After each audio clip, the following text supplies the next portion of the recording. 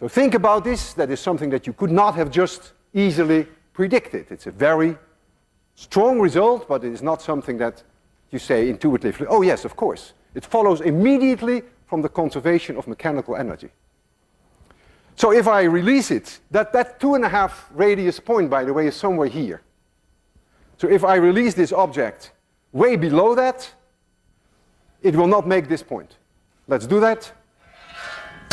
You see it didn't make it. I go a little higher, didn't make it. I go a little higher, didn't make it. Go a little higher, still didn't make it. Now I go to the two and a half mark, and now it makes it.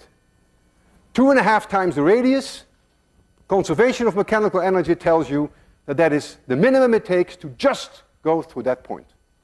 Of course, if there were no loss of energy at all, there were no mechanical energy lost, that means if there were no friction, then if I were to release it at this point, it would have to make it back to this point again with zero kinetic energy. But that, that won't, that's not the case. There's always a little bit of friction with the track for one thing and also, of course, with air. So if I release it all the way here, you will not expect it, that it will bounce up all the way to here. It will probably stop somewhere there. It may not even make it to the end. We can try that.